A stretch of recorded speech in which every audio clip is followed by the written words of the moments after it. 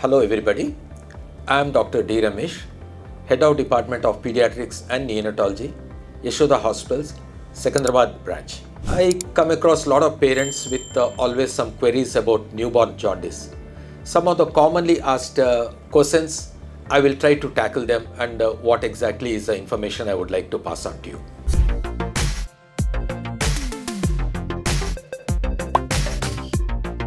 The first very commonly asked question is what is jaundice in newborns?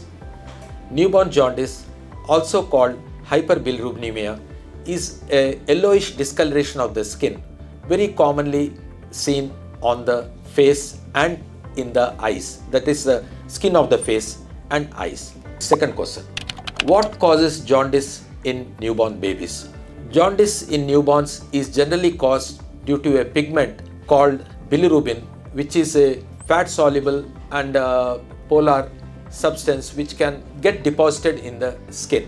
This is generally caused because of two factors. Number one, the newborn baby has a bilirubin called fetal hemoglobin, and this fetal hemoglobin, the RBCs break down very fast.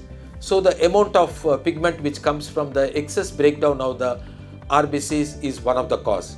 The second cause is this bilirubin has to be metabolized by a enzyme called glucuronide transferase enzyme, UDP glucuronide transferase.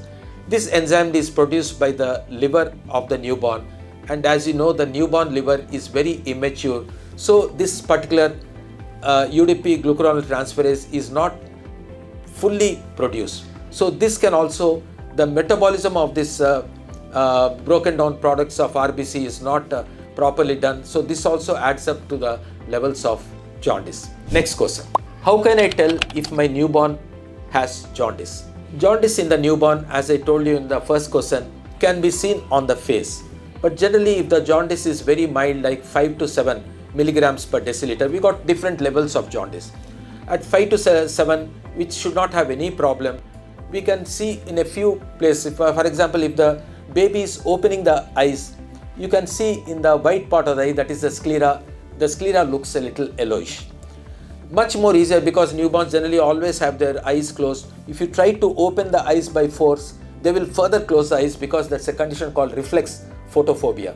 So the next good place to look for jaundice in the newborn is slightly pinch the front of the nose and suddenly leave it. You can see the tip of the nose looks very yellow. If the jaundice levels are above 5 to 7. Or you can just press on the nasolabial fold of the cheek. You just press like that and leave it. You can see the yellow part. If the baby is crying or if the uh, baby uh, you can slightly open the mouth of the baby you can see yellowish discoloration of the mucous membrane on the hard palate. There also you can see the yellow color. But if the jaundice is around 15 or 16 you can see it on the chest and the abdomen. The more dangerous levels are if the jaundice levels go above 20 then you can see on the palms and also on the soles then it's an alarming sign. You have to immediately rush to the doctor. Next question Is newborn jaundice dangerous or serious? Yes, newborn jaundice can be dangerous or serious if the levels go very high. 60% of all full term normal newborns have jaundice. 80% of preterms, that is, the babies who are born before 37 weeks, or small for dates babies, that is, small babies who are born uh, whose birth weight is below 2.5 kg have jaundice. But 95% of them, it is physiological jaundice, it disappears on its own and there should not be any problem. But if the jaundice levels go above 16 or to 18 in the very small babies, that is the preterm babies, or if it goes above 18 to 20 in the full term child, sometimes it can become dangerous. The jaundice can go across the blood brain barrier into the brain and cause irreversible brain damage. How is jaundice treated in newborns? As I told you, 95% of jaundice in the newborn is physiological jaundice and it is self reduces. It may start at around 2 to 3 days in the full term child and disappears by 5 to 7 days.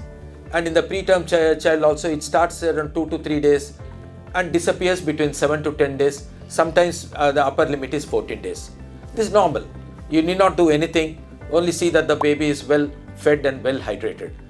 But if, if the jaundice levels go above 15, uh, whether it's a full term or is saying, then the child has to be immediately uh, tackled by the pediatrician and the child may require a phototherapy. But if the jaundice goes above 20 or the child is developing slight signs of any brain damage like fits or anything, sometimes a more aggressive treatment called foot uh, exchange blood transfusion is done. How can jaundice in newborns be prevented or reduced? This, uh, for example, normally there is nothing like prevention of jaundice in a newborn, but reduction by giving a, looking after the child, uh, that the child is well hydrated and does not uh, get exposed to excess heat or any loss of uh, fluid in the early stages of life, uh, saying. But there are a few cases where you have to be extra careful. For example, the mother has got any infections during her, they are called TORCH infections, during a pregnancy. These children can go into very high levels of jaundice. Or the mother is a hypothyroid patient. Or mother is having very severe sepsis during the last days of pregnancy. Or the mother has got a history that the first baby whom she had had very high jaundice and had to go to uh, get admitted. Then you have to be extra careful and the minute the baby is born, the child has to be tested whether there is any RH incompatibility or any ABO incompatibility. That is the difference of blood group between the baby and the mother and that requires a proper treatment. So these are some of the common things which you have to keep in mind about jaundice. Thank you so much.